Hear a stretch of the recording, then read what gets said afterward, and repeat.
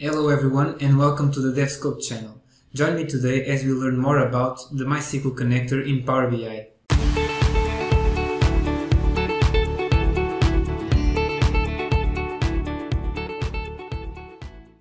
So today we want to get data from a MySQL database and first of all we open the Power, BI and now we go over to the transform data to open Power Query now we want to add a new source, so we click the new source button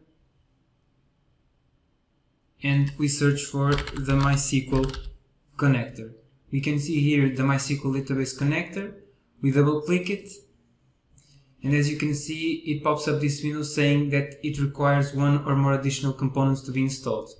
So in order to solve this problem all you need is to install the .NET driver from MySQL. You can easily find it um, in the internet and you just have to google it and you'll find it right away.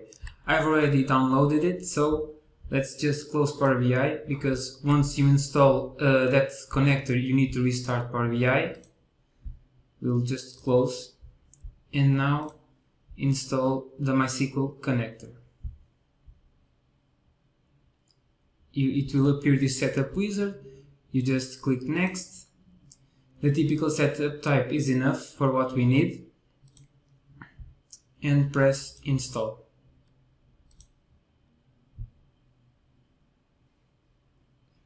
And it's done. We have the MySQL connector installed and we can click finish. Now we open again the Power BI file that we had opened before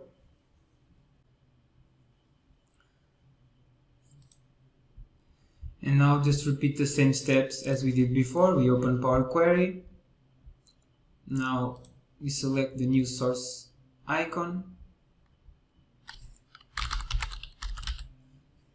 Sorry. Here we have it. Once we double click it now we are able to put in the parameters we need to access the database we want. In this case the database is on my machine so the server will be localhost and the database name is Sakila. Just press OK and now we have all the content within that database. We can select a few tables and press OK. Now as you can see we have the tables we have selected and we have successfully connected to uh, MySQL database.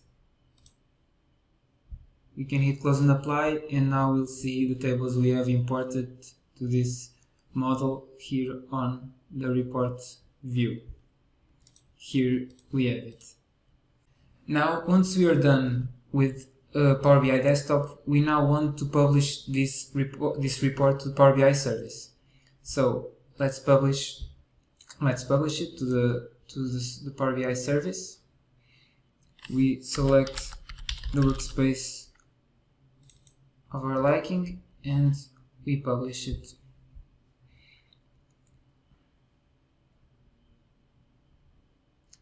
Once it's published we can close Power BI and now we have the report and dataset that we have published.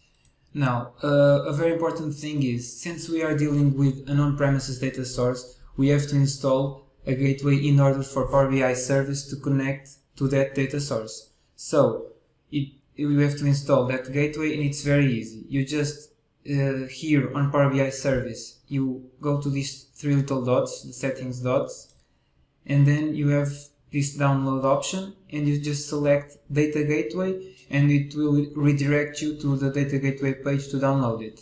It's fairly easy and you install it without a problem. Once you are installing it, it will pop up a window similar like, like this. First you'll be asked to enter your email, I've already entered it, and now you will end up with these two choices. In this case, we want to register a new gateway on this computer. We can click next and now we just give the name a name to the to this gateway in this case I'm going to call it MySQL Sakila and you have to define a recovery key. This recovery key is very important, so do not forget it. And as the name suggests, is if you need to recover this gateway, you need to know this key. So once you filled in these boxes with the name and the recovery key, you can hit configure.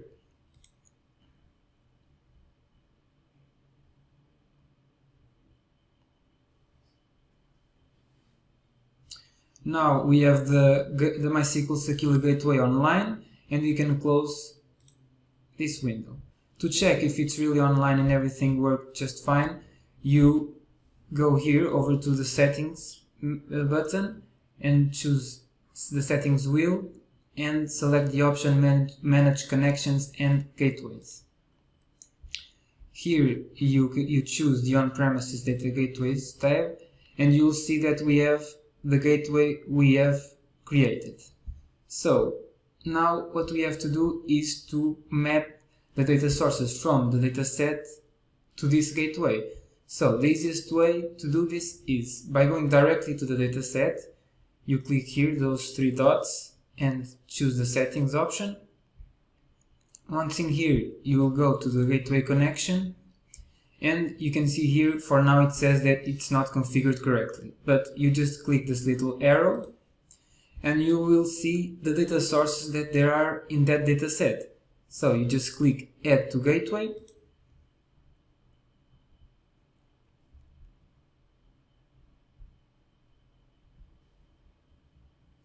and this way you will have already the connection type filled in, server and database. Now you just have to give it a name in this case, I'm going to give it the same name as the database, Sakila, and then you configure the authentication method. In this case, it's in my case it's Windows, and put in the password.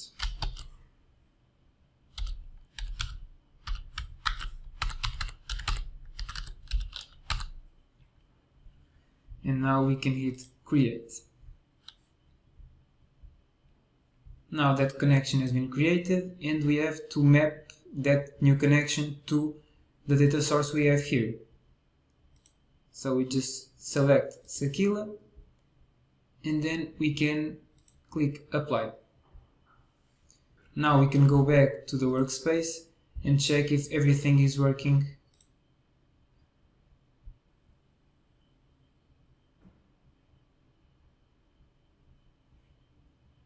and as you can see everything is working just fine.